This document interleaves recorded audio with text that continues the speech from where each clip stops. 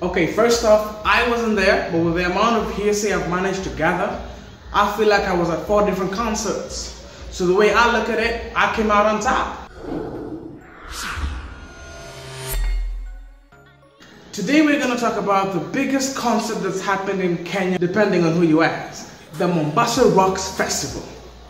First off, right off the bat, most animated name I've ever heard. Have you seen some of the names of festivals out there? There is the Beastival. I don't even know what that is. The Green Man. I think this is where guys go to look for aliens. Ballypop. You know someone was definitely high on something while coming up with this name. Belly Pop. My favorite, Burning Man. Yup, Burning Man. I don't have time to explain this festival, but when you're done with this video, go ahead and Google Burning Man. And if you're anything like me, you're gonna add it to your bucket list. So the first poster of this thing came to me on uh, about early September, mid-September around there, and it came in one of those WhatsApp groups that you're just in for the ambience, you don't really say much, you just read what comes up.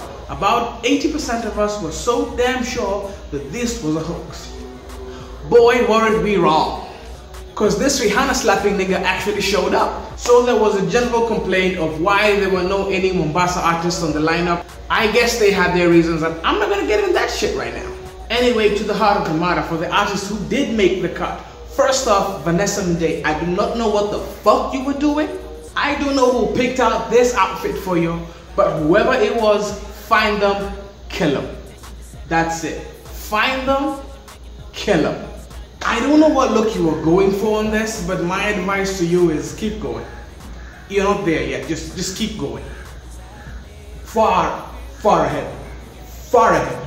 So with all the concerts that I was figuratively at, the smart niggas know what I'm talking about. For you slow people, you best catch up.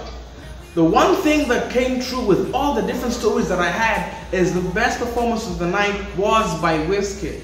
Uninterrupted, uncut, unrushed, and it was backed by a band. That shit was off the chain. But I don't know if it was playing Hot Lava. Do you know the game?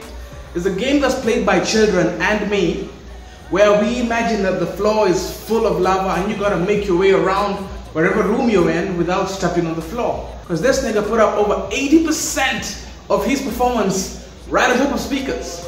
Christopher Brown, Breezy, CB, aka Baba Royalty. First off, right off the shelf, he performed to playback. That shit was whack, but who the fuck cares? It's Chris Brown. Some people were losing their shit just because they got to see this nigga. It wasn't even about the performance. Just seeing Chris Brown on stage. This nigga would have come on stage and struck poses to his songs for the entire 90 minutes and some people would still go bloody ape shit.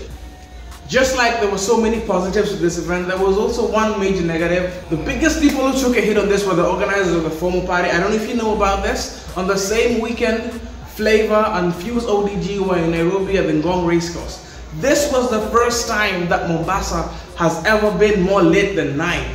I'm sure some of you are watching this video and you didn't even have a clue that these guys were in the country. And that's what happens, as in, don't do shit when somebody bigger than you is doing the same shit on the same day. So back to Mombasa Rocks. They're already planning the next one. There are a couple of rumors already going around, but I don't want to propagate that shit. My advice to the guys that they should focus on home.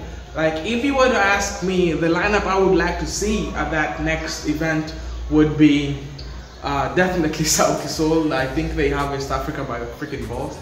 Diamond, The Council, Chameleone, Bebe Cool, Yamoto Band, Dazzler, Cindy from UG, and one more artist from Mombasa. If each of these guys did one hour or 30 minutes performance, I believe this shit would be massive and it would have a bit more of an East African feel, a bit more of a home feel, and guys are gonna love that shit. But hey, that's just me. My name's Ricky and this is The Vent. Until next time, salute.